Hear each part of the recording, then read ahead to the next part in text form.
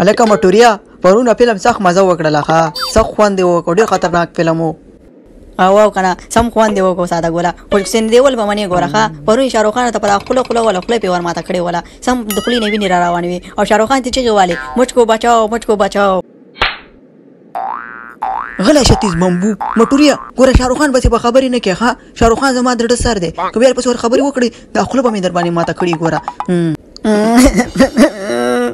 کومړه زاده ګله وار ولې کې خو وی والو کنه ورشه پښتني ته ورشه غریب هسپتال کې پروتي خو خو چې سندي ول سره څوک ډغره وهي همدا به حال کنه خلی نه ویني روان نه وی ولې ګوره کنه مټوريه ته بيا غلطه خبره کې و شاروخان د شپي وده و او سندګل ورپسې راغی او نشه ورته ورکا او بيا بوتلو پړي پوري وتړ او وی والو که نشه او پړي پوري نو تړلې ته بيا د سنديول حال ليدلې او دا غټه خوله وی پي ورپه چته کړي وله او کنه شاروخان خو شاروخان دی شاروخان به مني اهههه شاروخانه ما وباخه ساده ګله تم رښتیا وې سنه دیول ورته دوکه ورکه کنه نشه نه ورکړي بیا ورته شاروخان غتري خو د خیر بل ته په ورته ګوري شاروخانم او کنه جمعې پورې د فلم راځي مټوریه او د بلی نه دی خبر که ما خیر ده جړا دی بنده که خبر یو کنه د الیا بټ پلم را روان دی. نه مړه ساده ګله کله راځي او د څه په ورځ؟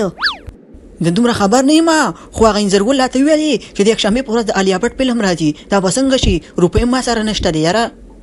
او کنه ساده ګله دا پیسې به د کومه کوم ملګري یاره زه هم د پیسو غم کوم خو زمه خیر دی د زرڅانګې ترور د پټي نه جوار راخشکوم او بازار کې خرڅوم ځانته به پیسې پیدا کړم همدې نه زما خو کار جوړ دی. له صحیح ده ته ورځه بیا به د یکشنبې په ورځ ګورو زم زمه چې د مدالي په د ماما په چرګه باندې چاپه ووامه هغه به راونیسم خرڅه به یې کړم او کنه دا به خو ډیر خوند وکړي د الیابیټ فلم دی د بل چا هم نه دا خو به خامخا ګورو. د سعید مټوریا بیا به ګپ لګو سلام علیکم. د سعید ورځه ساره ګله بیا به ګپ لګو الله دې د دواړو په غلا کې کامیاب که ځه ورځه.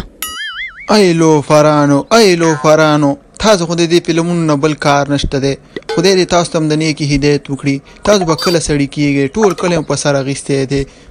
سلام علیکم مولا صاحب ته ولې غوسه یې چا درته څه ویلي که څنګه چې داسې غوسه ولاړې وعلیکم السلام مدالي او خیر په چرګه دې پام کوه ګوره خو خیر مولا صاحب ولی بیا زما چرګې ساس کور کې هغه چولې ده لکه بې شرمه ده ګوره او که نه هغې درته څه ویلي دي که څنګه نه نه مدالي ستا چرګه و ما ته څه ووایي کاږي واچوه خو خیر زما پیدا ده خو مطلب داسې دی او ساده ګل خو لوفر دی خو ځان سره یې مټوری هم لو خوار کړی دی او هغه غوښتل ستا چرګه پټه کړي. نه پوهېږم د یکشنبې په ورځ د چا فلم راروان دی، ښایسته نوم یې دی. د علیا بټ؟ اوا اوا د علیا بټ فلم راروان دی. اوا اوا ما هغه علیا بټ یې ښودله. ها مدالي ته هم فلمونه ګورې؟ ته هم لوفر یې؟ اوا اوا ملا صاحب ډېر زیات یې نه ګورم خو کله کله یې ګورم. کله مې چې زړه وشي ورته. ډېر نه خو علیا بټ نه هېروم هغه هره ورځ ګورم. خامدعلی دا راته ووایه چې دا علیا بټ څوک دی.